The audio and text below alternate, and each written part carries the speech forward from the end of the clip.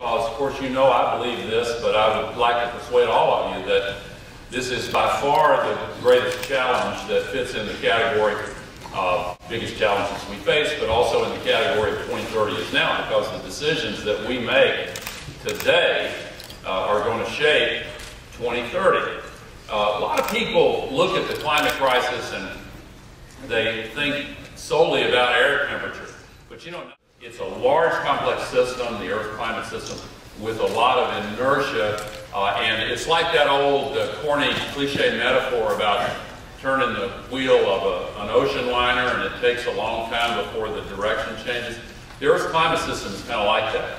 And we have been turning toward heat, heat, heat for quite a long time now.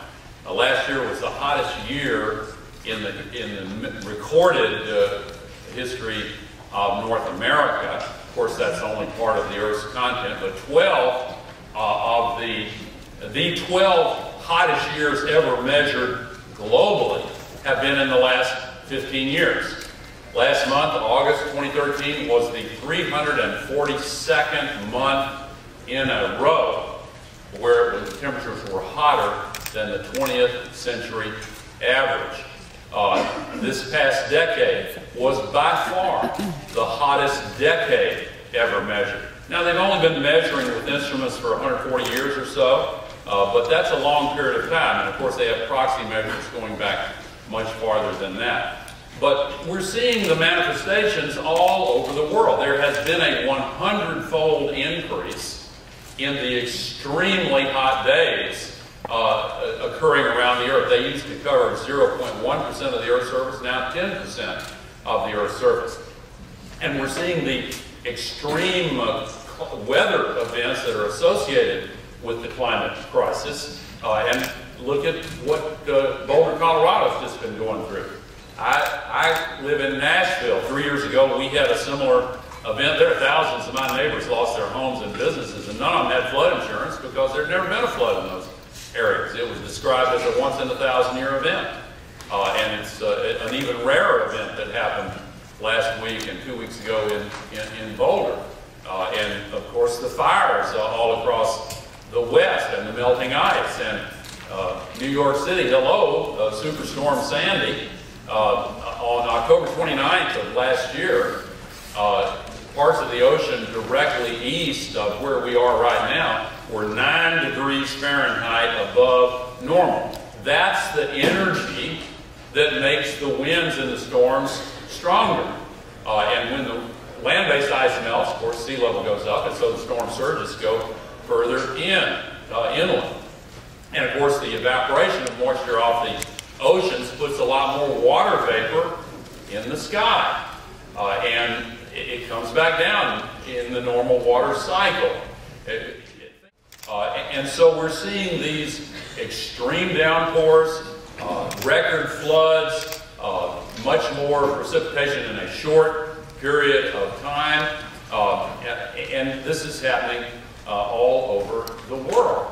Uh, and, and, so Mother Nature is speaking up loudly and clearly. later this week, the scientific community will speak again with their the fifth assessment of the Intergovernmental Panel on Climate Change. And uh, predictably, the denialists will be out trying to seize on this, that, or the other and make some exaggerated uh, false claim. Will the world be played for a fool again? I don't think so. I think that we are right at uh, a political tipping point because people are hearing from their parents and grandparents and elders that it's never been like this before. Uh, this is, uh, th these are new weather and climate conditions. Uh, last year was the record uh, melting of the Arctic ice cap. That affects weather patterns as well. Uh, and the number of people in harm's way are, is a number that is certainly increasing. Now, we are still putting 90 million tons of global warming pollution into the atmosphere uh, every 24 hours. Uh, and according to uh, Jim Hansen and his colleagues, and what has been described as a conservative estimate, the accumulated amount of man-made global warming pollution that's up there in the atmosphere trapping heat now traps as much heat each day as would be released by 400,000 Hiroshima atomic bombs going off every day.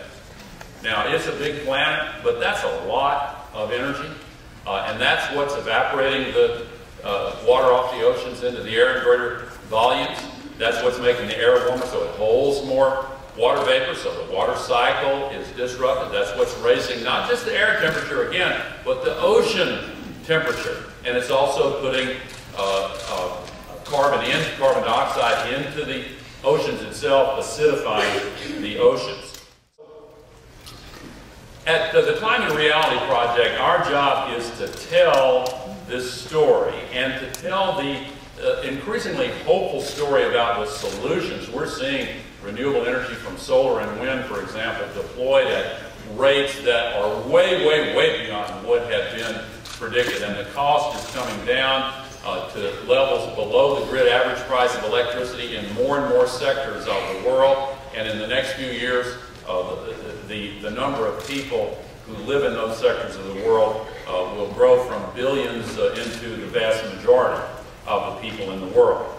Uh, in, and today's 18-year-olds are waiting and hoping and are eager for this generation with its hands on the controls and levers and fingers on the buttons of change in this world to take action and take on this crisis. Put a price on carbon. Put a price on denial. Let's solve the, the climate